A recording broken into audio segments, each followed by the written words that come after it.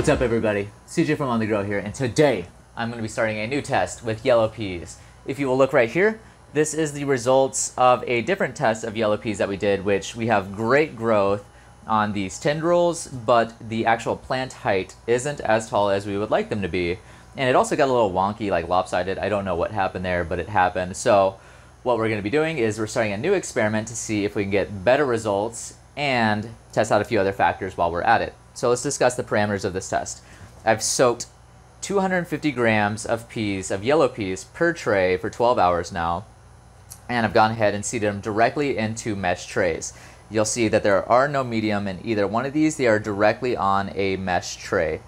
So what that means is these are going to be uh, basically pulling water. They're, they're not going to have something to sit there and hold water for them, so we're going to have to stay on top of watering with these and make sure that we're missing these thoroughly twice a day at the very least. I've never tried this method before, so we're going to see how it works.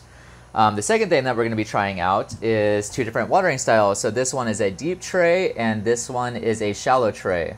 The shallow tray is going to be a Kratky style watering, which means we're going to fill that reservoir below it full of water till the roots uh, and radicles are able to dip down into it and pull up the nutrients as needed. And then on this bottom watering side, we will come and fill up water every day, probably two cups of water twice a day uh, to make sure that these have plenty of water.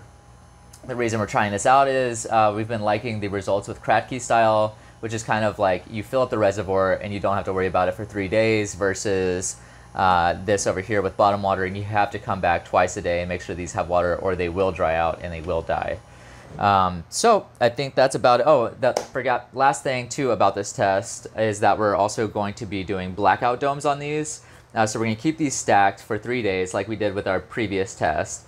And then after the three day period, what we're going to do is uh, put blackout domes to try to get these plants to grow a little bit taller uh, because I would like a little bit more height from these. Um, so that is the very last thing that we're going to be doing differently on this test and they will both be getting uh, the same nutrient source, which will be a Farmer's Pride hydroponic solution uh, that will be mixed exactly the same for both these, so that we will keep that factor the same. That was a lot to explain. So let's go ahead and I'm gonna get weight put onto this, put it on a shelf. We'll keep these misted, and then I'll see you tomorrow and explain how that worked out. Or if it worked out very, very well, then I'm not gonna say anything, and I'm just gonna show you what the plants look like.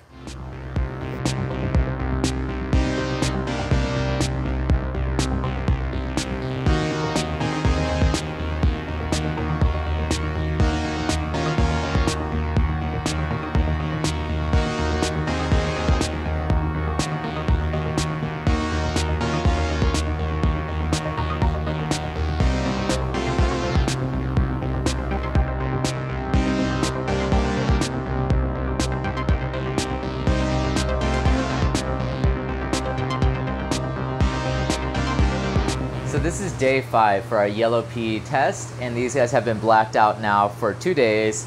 So I haven't looked this morning, so let's take a peek and see how they looking.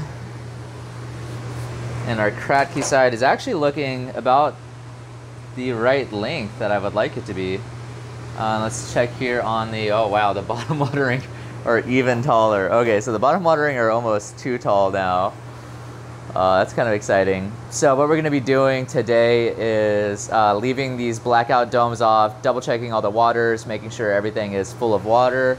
And we're going to let these grow for an additional probably three to four days. Uh, we'll see. And then we'll get these harvested and compare the weights and what worked and what didn't work.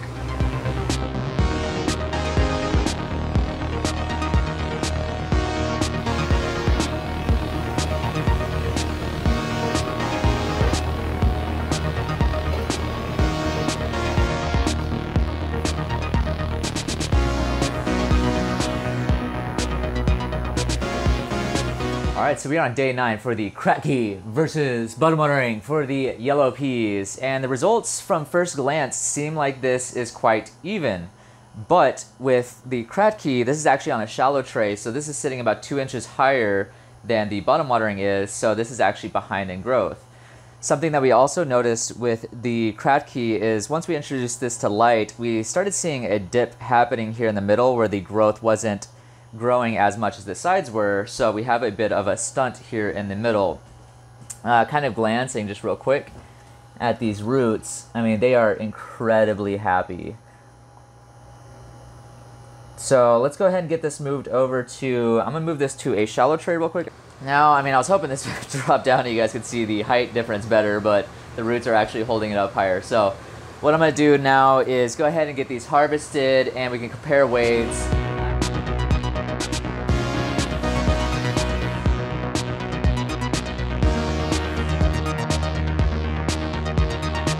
Okay, so we just finished harvesting the Kratky side for the yellow pea, and we are at 297 grams. So now on to the bottom watering.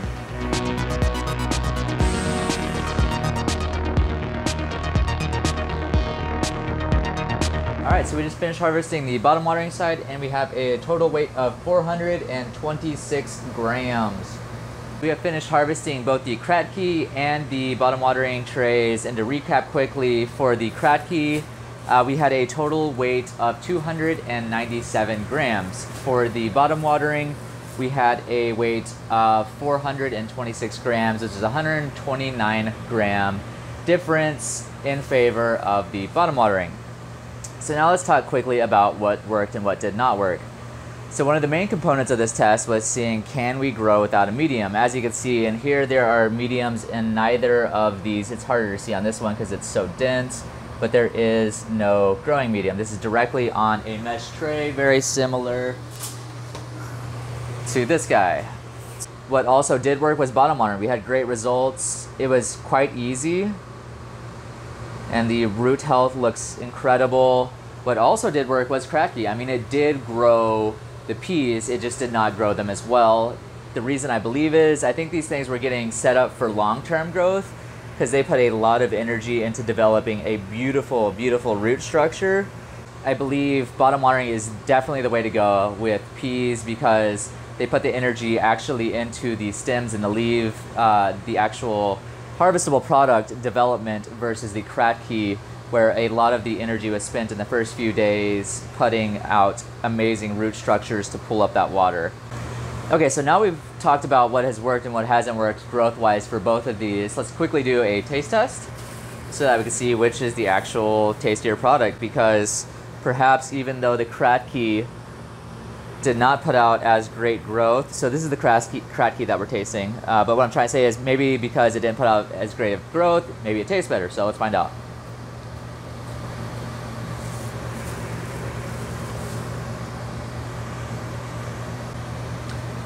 So as for taste, I would say they're fairly comparable. I mean, both of them taste quite nice. They both taste like peas. I would say that the bottom watering was maybe less bitter, but it was it's kind of hard to tell. I mean, it was incredibly similar. So, so winner for taste, I would say they both win. They both did really well in the taste factor. So overall winner, I'm gonna say bottom watering. It was still very, very easy to use. Uh, you know, we came out and watered this once a day. What I've noticed with peas is if we put two and a half cups of water, maybe three cups of water in this for bottom watering, we don't have to worry about it for a day, so it's quite easy. Um, the Kratky, I will say though, I mean, we, we added water every two to three days on it, so it's a lot easier to manage, but it just didn't provide the growth that I had hoped. So overall winner, again, I'm losing my train of thought here, is the bottom watering of the yellow peas. We had great growth with it, super easy, very healthy, great taste. All right, so that's about it for this test. I hope you guys enjoyed it. I know I had a great time playing with this and seeing can we grow without a medium and comparing Kratky to bottom watering to see which would provide the best results. Again, this is what we have found in this experiment. I strongly encourage anybody to do their own experiments. Don't just take our word for it. So that being said, I hope you guys enjoyed it. If you guys like this video, please give us a thumbs up. If you disliked it, give us a thumbs down. If you have any questions or comments, please leave them in the section below. We like to do a lot of experiments, so if you guys want to follow more and see more experiments that we do, please follow us or, or hit the subscribe button rather. And if you would like to, we do daily posts on Instagram. Our Instagram page is at On The Grow Farms, and I hope to see you soon.